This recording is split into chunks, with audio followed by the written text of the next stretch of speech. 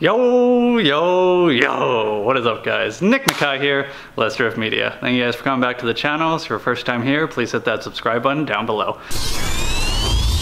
So on today's episode, I'm gonna be showing you guys my express maintenance or oil change routine that I feel like kind of maximizes efficiency so you can get as many cars out as you can especially when you're working at the dealership, you gotta be moving fast. They want you to like get these cars out in like 10, 15 minutes. So I'm just gonna show you my routine and the tools I use and kind of basically my routine, the way I go through it to service the vehicle, and it's worked for me so far. So again, there's like no right way you can do it. People do things different ways in different orders, but it all comes down to preference. So maybe you guys can pick up some tips from this video. So let's get started on the tools we're gonna be using. So I laid out all the stuff I'm gonna be using in this video right here. Um, we got tire pressure inflator, 14 wrench, oil filter wrench, uh, 3 8 impact with a 10 millimeter socket, pen, tire pressure, tire tread depth gauge, uh, pocket screwdriver, uh, mirror to inspect the brakes, and a brake measuring tool if you're unfamiliar with what the brakes look like, the sizes uh, flashlight, we got our oil and our oil filter. So let's get started pulling the car in and racking it up. Today we are going to be using Danny's Lift, so do me a huge favor and give him a follow for letting us use this.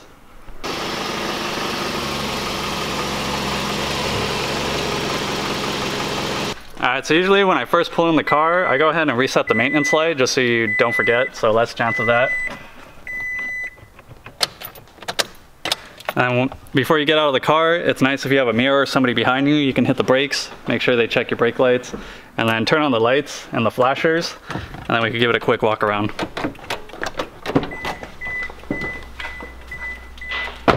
Usually I'll come around the back, check all the lights, tail lights, signals, license plate lights, check the rear wiper insert, see if that's torn. Come back around the front, check the front lights, Wiper inserts, again, something we recommend a lot at Toyota.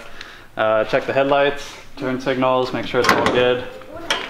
Pop the hood, then you can go ahead and shut everything off. Right, so before I really do anything under the hood, usually I'll just come and check the cabin filter. I like to basically do the whole inspection before I even start on the car.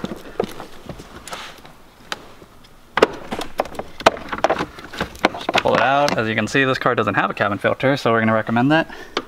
Also too, whenever you're like making recommendations, it's nice to have your RO right here with a pen and just writing stuff down as you go so you don't forget it.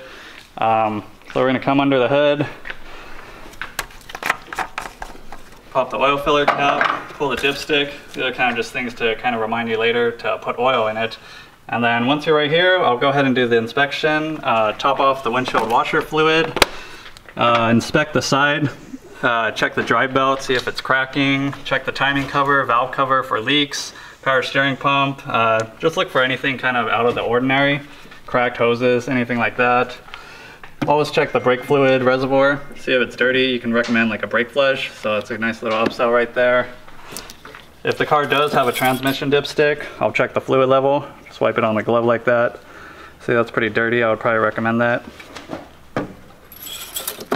And if, I, if, we were at Toyota, we'd have the battery tester, so we'd go ahead and run the battery tester, and while that's going, you can also start finishing up your inspection. And then I guess the only other check under the hood is going to be the air filter, so let's pop that off.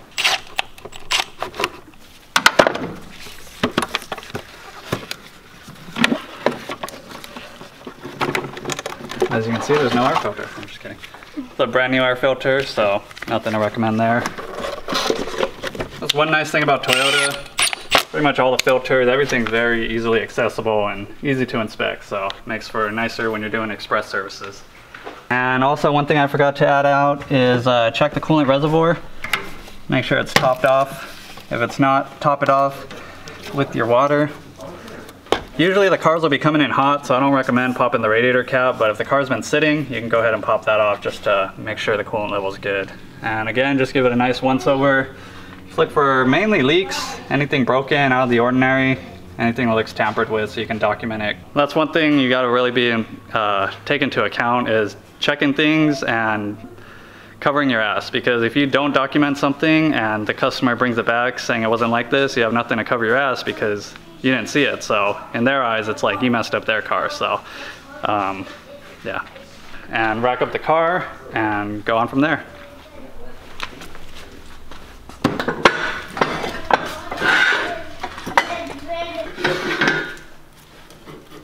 Damn, Danny. Damn, Danny.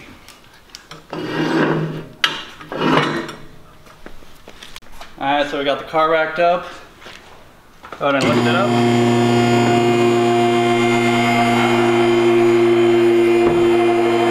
Every time I rack a car, I usually just double check just to make sure, give it a nice little shake.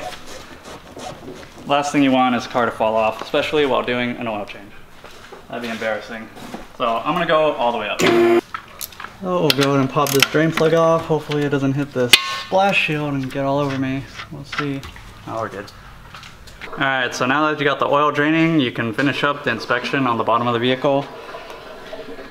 Uh, I'll usually go ahead around and check tire tread, make sure all the tires are good. Again, just check in for like any kind of uneven wear, flat spots, something like that, that would indicate uh, it's time for new tires. All right, uh, after I check the tires, I'll go ahead and check the brakes. Usually with the mirror, you can kind of sneak it in there if you can see. You can see the pad, at least the inner pad, um, you can check from the back just to kind of give you an idea. Uh, if you're very new to this, I recommend just taking off the wheel and then you can use one of these brake inspection tools so you can get the legit measurement but like after you do like a couple hundred oil changes you're gonna get really good at just being able to eyeball the brake pads so you won't have to remove the wheel. But if you're first starting off really recommend it just to familiarize yourself with the brake pads. And another thing to keep in mind is just because you could see the inner pad and it may be in good health like 8 millimeters uh, try and check the outer pad uh, especially on both sides because a lot of the times one pad might just wear down faster than the other one. And I've even had cars come back because I said the brakes were good what one pad was very low and then it ended up biting me in the ass because I didn't do a thorough inspection. So So coming to the back, these are drum brakes, so you're not going to need a mirror. These are actually on this vehicle kind of difficult to see. There's only a little peek hole. Very hard to see, but you just got to find the right angle for when they're drum brakes. I mean, usually you're not going to see drum brakes that often anymore, but when you do see them, just something you need to check out. Uh, if you can't see it, then just take off this rear wheel, pop off the drum, just so you get a good idea. This is kind of a bad example right here, but you guys get the point. And then, since you're under the vehicle, go ahead and check the shocks, look for any leakage, check the bushings, uh, anything that's worn down and you might want to replace. So you can see on this, they're pretty good. Nothing's really that bad back here. Uh, go up under the vehicle, just check anything, fuel lines, brake lines, leaks. And coming up to the front of the vehicle, the same thing, just checking for leaks. On Toyota, is kind of the key things I always look for is oil pan gaskets, transmission pan gaskets, uh, rear main seal. If it is leaking, you'll see kind of oil starting to come black right here in between where the trans and the engine meet. Um, another thing is axle seals. You can see on this one, this one's actually leaking pretty bad and it's actually coming down to the back of the transmission. So in the beginning, it might be a little hard to tell sometimes when you see just oil everywhere. So I recommend just asking someone who has a little bit more experience, like, hey, what do you think's leaking? Because sometimes leaks will trick you and you'll think it's something, but it's really not. So uh, oil leaks, inspect the radiator and the hoses, see if it's cracked or any leaks with coolant though, it's pretty easy to tell because it'll kind of start crusting up, so. And then again, you can also check here under, if you couldn't see the belt from up top, you can have, have a better angle from the bottom, as well as the timing cover. Uh, boots are a common thing that tear, and you'll know immediately because you'll see grease marks spitting all over outside of the boot. That's another common issue. Um, front shocks, basically it. Uh, as you can see here too, uh, this fender liner is coming apart. So if we were at the dealership, if anytime you see something like this, you're just gonna recommend the whole fender line. Like we don't recommend just zip tying it or anything like that. We just recommend the whole fender liner. So this one would have recommended that, as well as the passenger side, because both of it's coming apart. So another thing that you need to check uh, on every car, state law now, is tire pressure. So the tire pressure is usually on the door sill, so you can get familiar with what spec to put it at. But it's also another thing you could be doing while the oil is draining. Just walk around, set, set the PSI on all of them. Air gauge isn't plugged in, but you guys get the point. So that's pretty much sums it up for our inspection. Um, like I said, it helps to write stuff down on the repair order, like all your measurements you got, anything you recommended. But a lot of times it could end up being like a laundry list of recommendations and you're not gonna remember it all. And you really wanna document everything to cover your ass. So by now you would have it all written down. Uh, some people actually put it in the MPI so they can try and sell or recommend anything ahead of time, but I usually just leave it there, finish up the service, and submit the paperwork at the very end. So.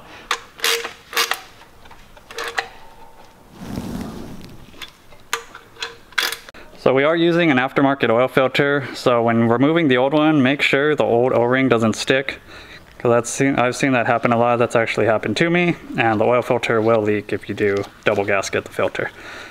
So if you are using an aftermarket filter too, just lube up the ring because they usually don't come grease. If you're using the factory Toyota ones, they come with some nice grease on there. It's really nice. So before you lower the vehicle, always trying to remember, double check, just make sure that drain plug's tight sometimes you think you tightened it and you can forget it, especially when you're moving fast pace and everything's all crazy. Uh, tends to happen, people forget things. So just double check. Just takes like an extra second or two, make sure there's no residual oil anywhere. Also just give it a nice once over again, checking for leaks, just in case you missed anything. You might catch it the second time around. Double check your work. That I think it's in the room. Oh. All right, so once you have the vehicle on the floor, really the only thing left to do is pour the oil, check the oil level, and call it a day. All right, so once you got the oil in the vehicle, go ahead and start up the car.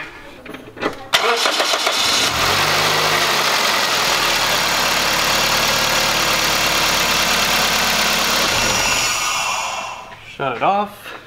Final step, check the oil level.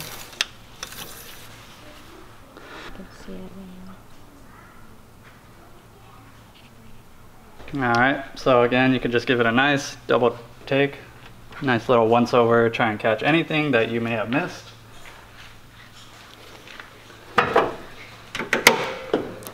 Close the hood. Uh, depending on your dealership, maybe put a lube sticker for their next service and call it a day. So another thing to add too, this was just a LOF service. A lot of times cars will come in for a tire rotation and oil change.